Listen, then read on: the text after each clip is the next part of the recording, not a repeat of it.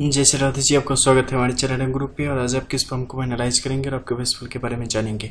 आपके कुछ मुख्य सवाल हैं। सबसे पहले विवाह को लेकर कि आपका विवाह कब होगा, कैसे होगा, किस तरीके से।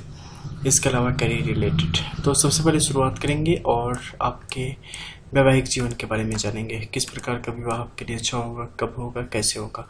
वर्तमान अभी आपकी आयु ट्वेंटी फाइव ईयर्स है, आप कर हैं, ठीक है? ये आपका लेफ़्ट पाम है, वैसे आप राइट हैंडेड पर्सन है। इससे हम जानेंगे आपके डेस्टिनी के बारे में, यानी कि प्रारब्ध में क्या लिखा है। तो सबसे पहले विवाह की परिस्थितियों की बात करें तो उसमें हम ले लेंगे आपके हृदय रेखा को, ठीक है? हृदय रेखा की कैसी स्थिति है और किस प्रकार ये आगे की तरफ़ बढ़ती चली जा रही है।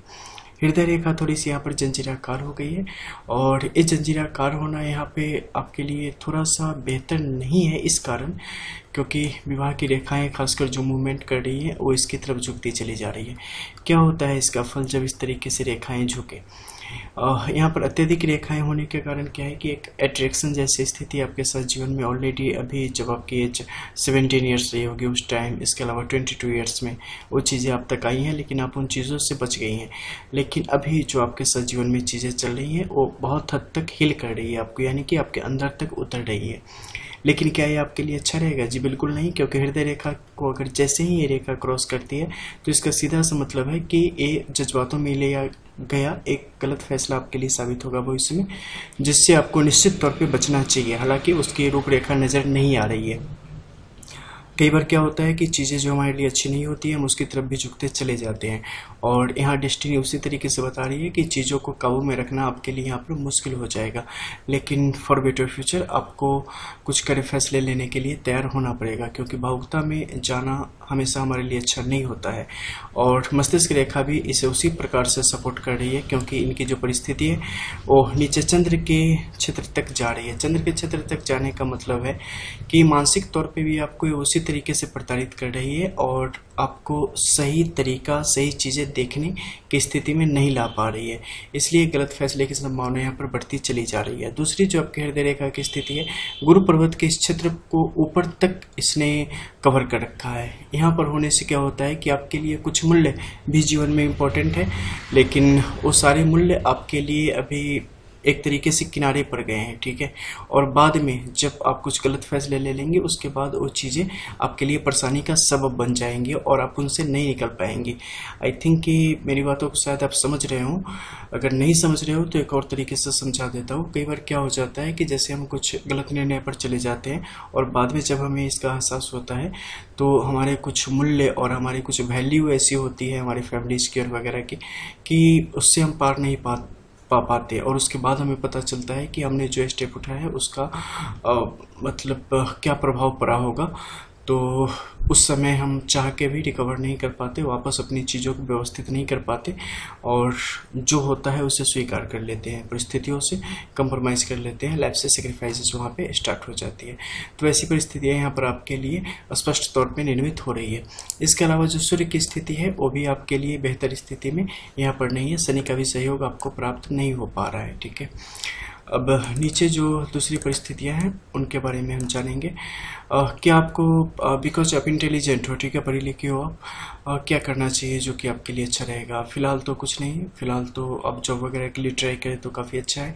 लेकिन ये बस एक अनुभव के लिए एक्सपीरियंस के लिए ही आप इन चीज़ों में जा सकते हो। बिकॉज़ आप उस क्षेत्र में भी जाओगे तो वहाँ पर भी कई प्रकार की ऐसी नज़र आपको, आपके आगे पीछे होंगी, आपको घोड़ने का प्रयास करेंगे, जो कि आपके लिए थोड़ी मुश्किल का सबब बन सकता है। तो उन चीज़ों से आपके लिए सावधान रहना यहाँ पर अत्यधिक आवश्यक है। इसके बाद हालाँकि आप कुछ स्टार्टअप वगैरह अगर करना चाहें तो आप स्टार्टअप की दिशा में बढ़ सकती है। वो सारी चीज़ें आपके लिए यहाँ पर हेल्पफुल साबित होंगी। ठीक है? आर्थिक मामलों में आपकी परिस्थितियाँ हमेशा बेहतर बनी रहेगी। इवन कि पुश्तैनी रूप से भी, पिता की तरफ़ से भी और आगे आने वाले जीवन में पिता की इच्छा से जहाँ आपकी शादी होगी, उस जीवन में भी आपके लिए बेहतर रहेगा। कौन सा समय आपके विवाह के लिए उपयुक्त है? जब आपकी एज ट्वेंटी एट क्रॉस कर जाती है, उसके बाद ही विवाह के लिए आपके पास सबसे बढ़िया समय है। उससे पहले ये होगा भी नहीं और करने का कोई मतलब भी नहीं है। इसके अलावा यहाँ पर दो वर्ग की स्थिति आपके लिए निर्मित हो रही है और ये किस प्रकार से आपके लिए कार्य करने वाली है। ये बेहतर है, ठीक है? एक साहस की एक साहस आपकी तरफ़ बढ़ाता है। और आपको बेहतर सोचने की क्षमता आप में प्रदान करता है। यानी कि एक ज्ञान होता है ना, ज्ञान है, लेकिन बस ये है कि उसे कवर कर रखा है आपके जज्बातों ने और मस्तिष्क रेखा के यहाँ पर जो दो आकृतियाँ निकल रही हैं, इन दोनों के प्रभावों ने। एक असमंजस की स्थिति में व्यक्ति को फंसा देता है जो आपके लिए यहाँ पर बन पड़ा है। इससे निकलना आपके लिए अत्यंत आवश्यक है, अन्यथा जो चीज़ें आपके लिए बेहतर भी है, वो आपके लिए बेहतर परिणाम देने की स्थिति में नहीं आ पाएँगी। ठीक है। मस्तिष्क रेखा, इसके अलावा जो चंद्र की दूसरी बात करें अगर तो विदेश यात्रा और विदेश में आपके रहने के लिए काफ़ी अच्छा समय है, काफ़ी बेहतर संभावनाएँ वहाँ पे आपके लिए मौजूद है, ठीक है। तो उनकी तरफ़ आप अपनी तलाश बढ़ाएँ तो आपको तत्काल ही सफलता मिलने के आसार प्रबल है। इवन की जो आपकी एज हो रही है ऑलरेडी आपको सफलता में ज़्यादा समय और नहीं लगेगी, ठीक है। इसके अलावा आगे की लाइफ कैसी रहेगी? एज पर डेस्टिनी काफ़ी अच्छी है, ज़्यादा समस्या यहाँ पे नहीं है। ठीक है। चलते हैं और अब आएँगे आपके राइट हैंड पे और वर्तमान परिस्थितियों को हम जानेंगे। राइट हैंड में सबसे पहले बात करेंगे आ, कैसी परिस्थिति यहाँ पे बन रही है। मैरिज की अगर बात करें तो जैसा मैंने बताया बिल्कुल उसी तरीके की है। आ, क्योंकि देखो चीज़ों को थोड़ा और मैं ज़्यादा क्लियर कर दूँ ना तो बस यही समझ लो कि अगर आप उसकी तरफ़ बढ़ते हैं, जिसकी तरफ़ आपका एक मन बोल रहा है तो वहाँ पर क्या होगा कि अलगाव की बात आ जाएगी, ठीक है? जिसे आप अंग्रेज़ी में डाइवोर्स कहते हो वैसी सिचुएशन तक वो चीज़ें चली जाएँगी। तो आपको काफ़ी सावधानी से चीज़ों को आगे बढ़ाना है। हमेशा वो वो नहीं होता जो हमें दिखता है। एक हमारे यहाँ कहावत है कि दूर के ढोल सुहावने लगते हैं, ठीक है? तो कई बार क्या होता है कि हम जिसके बारे में सोचते हैं, जिसके बारे में हम बिल्कुल खो जाते हैं कि पता नहीं ये भगवान इतना अच्छा मिलेगा, नहीं मिलेगा, इतनी अच्छी चीज़ें, इतनी अच्छी चीज़ें। रियलिटी क्या है ना, थोड़े अच्छे से सोचना। क्या होता है कि जब हम किसी को पसंद करते हैं कोई हमें करता है तो उस समय क्या होता है, हम हमेशा एक दूसरे के साथ नहीं होती, एक खास मौके पे मिलते हैं। तो जब हम एक खास मौके पे मिलते हैं या खास बात करते हैं ना तो जो हमें सबसे बेहतर चीज़ें होती है ना, वही हम सामने वाले को दिखाते हैं। मौका भी वही होता है, दस्तूर भी वही है, ठीक है? तो हमारी कमियाँ वहाँ पे नज़र नहीं आती। बहुत कम बार ऐसा होता है कि हमारी कमियाँ नज़र आ जाती है। क्योंकि उस टाइम क्या होता है, लोग नॉर्मली न चाहते हुए भी बहुत लोग मुखौटा लगाना ही पड़ता है, ठीक है? और क्या होता है कि जब आप एक दूसरे से प्यार करने वाले के साथ बैठे हो ना तो दिल इतना बाग बाग गार्डन गार्डन होता है ना कि मतलब जो हमारी नॉर्मल आदत है उसे भी हम इग्नोर कर देते हैं कि हाँ चलो आ, ऐसा हो गया तो मतलब क्यूट उसे हम क्यूट नाम दे देते हैं कि ये ऐसे खा रहा है वो ऐसे पी रहा है वो ऐसे कर रहा है तो ऐसा है ये अच्छी बात है। लेकिन जब वो नॉर्मल लाइफ में आप रोज जीने लगते हो ना फिर आपको एक दूसरे की कमियाँ पता चलती है। फिर आपको पता चलता है कि चीज़ें हम कितनी अलग थी। फिर उसके बाद फ्रैक्शन शुरू होता है वहाँ पे अलगाव शुरू हो जाती है। ठीक है?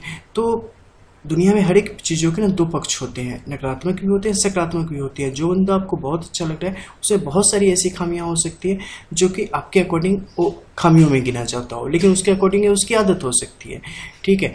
तो क्या होता है कि बार एडजस्ट करना मुश्किल हो जाता है। तो चीज़ों को ना दोनों पहलू से देखो। जोश में कभी भी होश खोने की आवश्यकता नहीं होनी चाहिए। ठीक है? तो यही चीज़ें आपके साथ जीवन में चल रही है। तो चीज़ों को जो है ना, जैसा है उसी तरीके से उसे एक्सेप्ट करें। मन में कोई रेत का मन ना बना ले कि ऐसा है ऐसा है ऐसा है, चीज़ें इस तरीके से जा रही है, वादे ऐसे ऐसे हो रहे हैं तो उसका फल ये मिलेगा ये मिलेगा, सारी दुनिया गार्डन गार्डन। ऐसा कुछ नहीं है, ठीक है? चीज़ों को रियलिटी उनकी जानने की कोशिश करें। और इसके अलावा मस्तिष्क रेखा की जो यहाँ पे बात हो रही है किस तरफ़ इशारा करेगी देखो, मैंने पहले भी कहा है, काफ़ी टैलेंटेड हो आप। आप में ज्ञान है, अत्यधिक ज्ञान है चीज़ों को समझने की बेहतर तरीके से। लेकिन जब भावना में हम बस जाते हैं ना तो कई बार वो चीज़ें हमारे लिए मुश्किल हो जाती है। ठीक है, जज्बात पे काबू रखना, दिमाग का सही इस्तेमाल करना, संतुलित भाषा का इस्तेमाल करना और सही तरीके से, सही नज़रिए से चीज़ों को देखना। सबसे पहले खुद का अवलोकन कर लेना। और हम क्या चाहते हैं? हमारी क्या सोच है खुद के लिए? और आगे हम उसे किस तरीके से इम्प्लीमेंट करने वाले सारी चीज़ों को अच्छी तरीके से सोच के, विचार के फिर आपको आगे बढ़ना चाहिए। बिकॉज़ आप जिस लाइफ की तरफ़ जाएँगी, वहाँ पे बहुत सारी बंदिशें होंगी, चीज़ें बिल्कुल डिफर होंगी, अलग होंगी। फिर वापस लौटने का वहाँ पे कोई ऑप्शन नहीं रहता। अगर हम लौटते भी हैं तो बहुत सारे जख्म लेके, जो कि फिर आपके लिए ज़िंदगी भर एक नासुर की तरह काम करते हैं, ठीक है? तो उससे बचने की आवश्यकता है। किस्मत का सपोर्ट सहयोग है आपके जीवन में माता पिता का सहयोग आपको मिलेगा, ठीक है? और जो भी इवन कि आप गवर्नमेंट सर्विसेज़ के लिए आप ट्राई करो तो बहुत ही बेहतर है, ठीक है? कोई दिक्कत नहीं होगी। लेकिन बिज़नेस आपके लिए सबसे अच्छा है। थोड़े समय के लिए आप इन चीज़ों की तरफ़ अपना रुख कर सकते हो, क्योंकि योग काफ़ी प्रबल है। तो निश्चित तौर पे आपको उस तरफ़ वो लेके जाएँगे ही जाएँगे। ठीक है? दूसरी बात करें जैसे कि मैंने बताया था आपको, आपकी डेस्टिनी के अकॉर्डिंग कि फॉरेन में सेटलमेंट के आपके बहुत अच्छे चांसेस हैं, ठीक है? तो वो सारी चीज़ें आपके साथ लगी हुई हैं इवन कि फॉरेन में काफ़ी अच्छे वहाँ पे रुकने के साथ ही आपके लिए प्रॉपर्टी वगैरह भी वहाँ पे अच्छी खासी आपको प्राप्त होगी, ठीक है? इवन कि ऐसा समय आएगा कि आप अपने मदर फादर वगैरह को भी वहाँ लेके जा सकते हैं और वहीं सेटल होने के बारे में आप सोच सकते हैं, लेकिन आप अपनी, आपके भीतर जो एक युद्ध चल रहा होता है, उसका आप क्या करेंगे? इसके बारे में आपको सोचना चाहिए हमेशा। क्योंकि आप बहुत सारी चीज़ें साथ में लेके जी रही हैं, ठीक है? इन फ्यूचर आप अगर कुछ बिज़नेस करना चाहो तो क्या करना आपके लिए ज़्यादा बेटर रहेगा? आप रेस्टोरेंट रिलेटेड काम कर सकते हो, ठीक है? इसके अलावा आप बुटीक रिलेटेड कोई करना चाहो सॉफ्टवेयर तो इन सब सारी चीज़ों की चीज़ें आप कर सकते हैं। बिकॉज़ ये सब ऐसा है ना, जिसमें किसी भी क्षेत्र में आप प्रवेश करेंगे तो आपको सफलता मिलेगी। लेकिन सबसे ज़्यादा रेस्टोरों आपके लिए बेहतर है, ठीक है? जीवन में देखो, बहुत सारी ऐसे समय आएँगे ना जब आपको लगेगा कि मेरे पास पैसा है, सब कुछ है, लेकिन जीवन में शांति नहीं है, जीवन में सुख नहीं है। इससे घबराना मत, क्योंकि आपके साथ जीवन भर लगी रहने वाली है। हमेशा आपके साथ कुछ ना कुछ प्रॉब्लम कुछ ना कुछ प्रॉब्लम हेल्थ इश्यूज़ तो आएँगे ही आएँगे। इसके साथ भी मानसिक तौर पे, यानी कि मेंटली आपको प्रसन्न करने वाला है। लेकिन आप अगर रुक जाओगे तो और भी ज़्यादा प्रॉब्लम आ जाएगी। रुकना मत, चलते रहना तो पता नहीं चलेगा ज़्यादा, ठीक है? इस तरीके का है। इसके अलावा दिमाग में आप वैसे भी कुछ रखते नहीं हो, कभी रखना भी मत और ज़्यादा प्रेशर मत लेना, नहीं तो डिप्रेशन में चले जाओगे, पता भी नहीं चलेगा कब का चले गए, फिर आपके लिए मुश्किल हो जाएँगे। कुछ ऐसे लोग हैं जो कि आपको विभिन्न प्रकार से बदनाम करने की कोशिश कर सकते हैं तो आपको अपने आँख कान खुले रखने चाहिए। कभी ये मत सोचना कि अच्छा जिसको जो करना है करने दें, क्या फ़र्क पड़ता है? वैसे ही मैं कौन सी अपनी लाइफ जी रहा हूँ? ऐसा कभी ना सोचे, कब टाइम बदल जाता है, कब आपको अपने जीवन से अनुराग पैदा हो जाएगा, किसी को नहीं पता। ठीक है? तो चीज़ों को संभाल के आगे बढ़ते चले।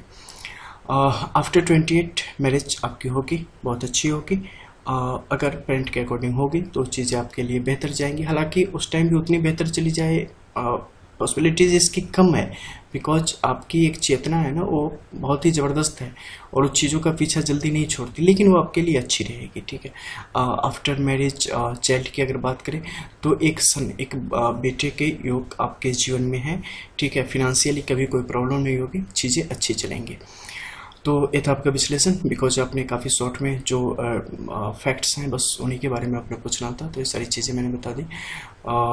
हाँ एक और चीज़ का हेल्थ रिलेटेड मैं बताऊँगा कि थोड़ा आप ध्यान रखना बिकॉज़ कुछ ऐसा हो सकता है जिसमें मानसिक गर्दन से ऊपर के क्षेत्रों में शल्य चिकित्सा की स्थिति पड़ सकती है। और एज जब भी आपकी होगी 29 और 30 after marriage one to two years में ये चीज़ें आपके जीवन में आ सकती है। सावधान रहने की आवश्यकता है, फिर मिलते हैं।